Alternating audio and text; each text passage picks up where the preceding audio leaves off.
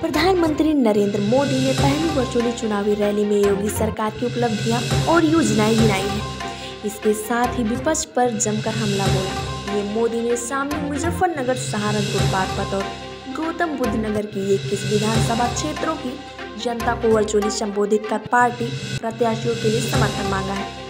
वहीं मुख्यमंत्री योगी आदित्यनाथ, भाजपा प्रदेश अध्यक्ष स्वतंत्र देव सिंह उप मुख्यमंत्री केशव प्रसाद मौर्य भाजपा प्रदेश मुख्यालय में स्थापित वर्चुअल स्टूडियो से रैली में शामिल रहे।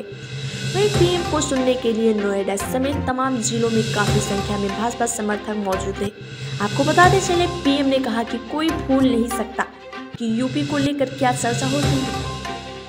पाँच साल पहले दबंग और दंगाई की कानून चलाते थे। वहीं उनका ही शासन चलता था। बेटियाँ घर से बाहर निकलने में डरती थी। माफिया सरकारी संरक्षण में घूमते थे।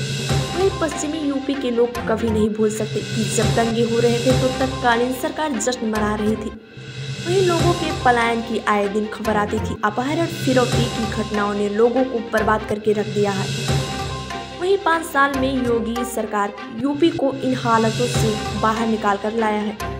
मैं भी एक राज्य का मुख्यमंत्री रहा हूँ। आज यूपी का किसान हो, कर्मचारी हो या व्यापारी हो, या फिर माताएँ बेटियाँ हो। सभी को सम्मान मिल रहा है। पीएम बोले, मैं ये देखकर बहुत खुश हूँ कि लोग इन दंगाई सोच के लोगों से काफ़ी सतर्क है। जनता इन लोगों के वो दिन वापस नहीं लाना चाहती। वही जनता ने ये ठान लिया है कि भाजपा को पहले से ज़्यादा मतों से विजयी बनाएँगे। हमारा काम और उनके कारनामे देखकर यूपी की जनता भाजपा को भरपूर साथ देने जा रही है। वहीं जो मतदाता पहली बार वोट डालने जा रहे हैं, उन्होंने निर्णय कर लिया है कि यूपी को फिर से दंगाइयों के हवाले नहीं करना है। वहीं आपको बताते चले, नोएडा से जुड़े अंधविश्वास को लेकर पीएम ने विरोधियों पर हमला बोलते हुए कहा, वो नेता जो नोएडा आने से डरते थे, वैज्ञानिकों पर भरोसा नहीं करते वो युवाओं और यूपी का विश्वास नहीं कर सकते हैं। यूपी को विश्वास पथ पर ले जाने का काम भाजपा ही कर रही है और भाजपा ही कर सकती है। यूपी में विकास के पाँच साल में जो काम हुए हैं, उनके पीछे युवाओं के सपने हैं। वहीं बीते वर्षों में जो भी योजनाएँ भाजपा सरकार ने लागू की है, उनका सभी को लाभ मिला है। ऐसा ही भारत बाबा साहेब भीमराव अंबेडकर देखना चाहते थे। ऐसा ही सपना चौधरी चरण सिंह जी देखते थे।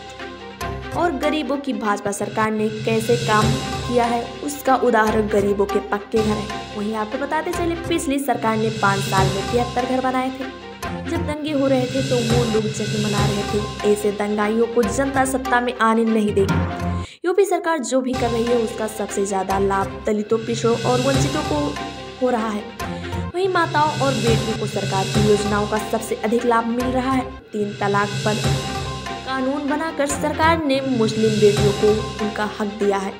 उनके सपने पूरे करने के लिए सरकार प्रतिबद्ध है। यूपी के 15 करोड़ नागरिकों को सरकार मुफ़्त राशन उपलब्ध करा रही है।